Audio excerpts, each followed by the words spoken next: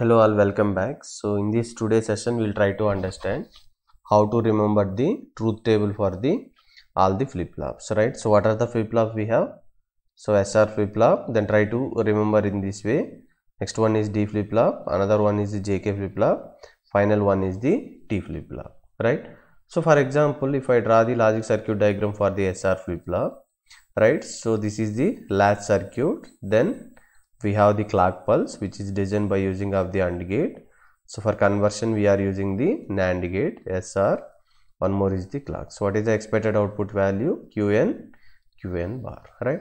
So first if you take that SR flip flop so what is the input? SR then QN QN plus 1 so why we are writing something like this is so first itself we are giving some S value R value. Let it be something 0 0 it means that here we are giving S equal to 0 r equal to 0 remember that clock value should be always 1 for the flip flop right? Now one more thing is that the moment if you get this value 0 1 means what?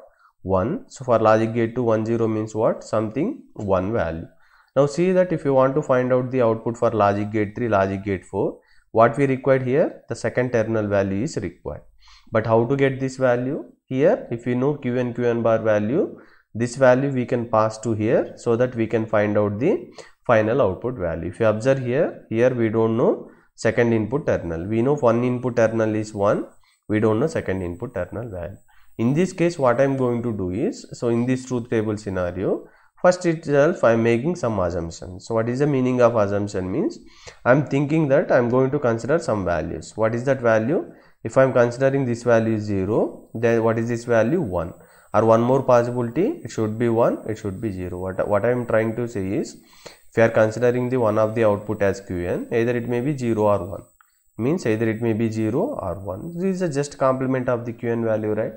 It means that if, if your input condition is 0 0 what are the assumption you can take? Either 0 or 1 right? So that's what i am writing two times right? It means that for same input we are writing the assumption two times now suppose if you take next inputs 0 1 what is the assumption you can take? Either 0 or 1 right? So it means that we are taking for the same input 0 1 next for input 1 0 we are writing assumption 0 1 next for 1 1 we are writing assumption 0 or 1 after passing this value this value will come to here.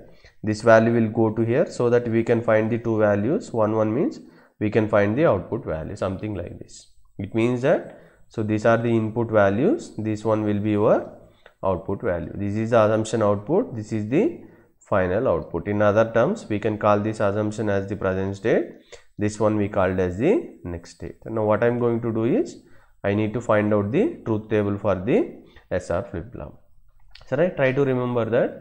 When s equal to 0 r equal to 0 it is called as the no change condition. No change condition means if you are assumption assumption value is 0 next value also 0 if assumption value equal to 1 next value also 1 see that when s equal to 0 r equal to 0 this is called as the no change condition. So what is the answer? If it is 0 means 0 ne if it is 1 means 1 this is what we called as the no change condition or memory operation. Memory operation means previous value will be copied into the next level also. Now if you see that what is the next condition? s equal to 0 r equal to 1 so which one is activated? 1 means that particular thing is activated. So which one is activated? Reset is activated. Reset means what is the general meaning? You make output as the 0 you make output as the 0 reset means always output value should be 0 and it means if our assumption value either 0 or 1 right? So output value should be always 0 this is what we called as the reset condition. Next what is the next input value s equal to 1 r equal to 0 which one is activated? S is activated. S is activated means set is activated.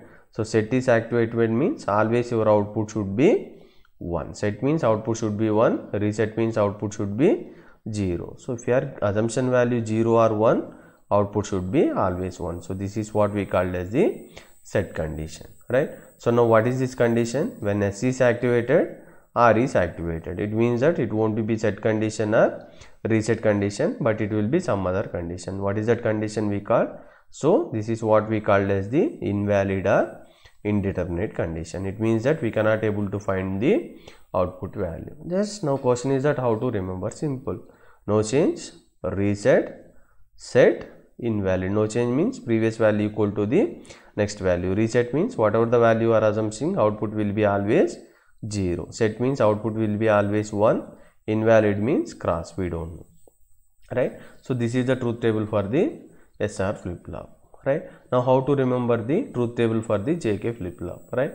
So simple. SR flip-flop equal to JK flip-flop. For which condition? 0 0 0 1 1 0 where we have the problem with the SR condition? When input S equal to 1 R equal to 1 it is not producing the output value right it means that here only we require the modification. This is the drawback of the SR flip-flop it means that if you consider this is the J this one is the K so this is also same this is also same this is also same. But here instead of the invalid we will be getting something called as the toggle condition. What is the meaning of toggle condition is if you give assumption is 0 it will be 1 if your assumption equal to 1 output will be 0 what is the meaning of toggle condition means changing the binary number from 0 to 1 or 1 to 0 is called as the toggle condition. Now if your assumption value equal to 0 what is output? 1 if 1 what is output? 0 this is what we called as the toggle condition right? So first how to write the jk flip-flop? No change. Reset. Set. In case of sr flip-flop it is invalid. In case of jk flip-flop it is called as the toggle condition. That's it right? Now what is the next flip-flop d flip-flop right?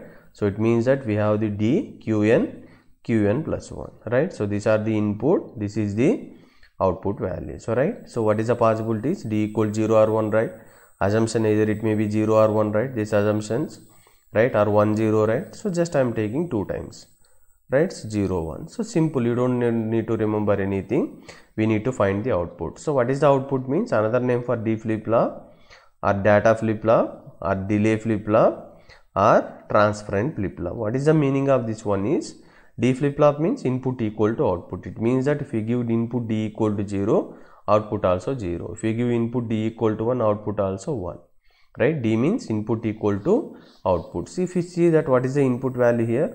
0 0 1 1 right? You don't need to remember this one. What is the output value? 0 0 1 1 it means that your input equal to output that's it. Right? Next what is the final flip flop we have the t flip flop right? Again t qn qn plus 1 what is the possibilities either it may be 0 or 1 right? Just I am taking the two times because either assumption may be 0 or 1 now if you observe here t is means what? T is means toggle. Toggle means what? Changing the binary number from 0 to 1 or 1 to 0 simple logic is that when t t means single input terminal right? What is the possibilities either it may be 0 or 1 right? It means that when t equal to 1 it means that toggle is activated.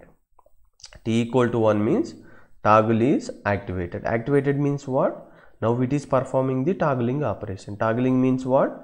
Changing the binary number from 0 to 1 or 1 to 0 see that where toggle is activated t here is activated. If you give 0 what is the operation? 1 if you give 1 what is the operation? 0 it means that this is the toggle condition. Simple thing. When t equal to 1 it will perform the reverse value to the assumption value. Right now what is the one more condition when t equal to 0 so t equal to 0 means try to understand toggle is activated or not activated? 0 means not activated. Not activated means it won't change the number from 0 to 1 or 1 to 0 now it means what operation it will perform?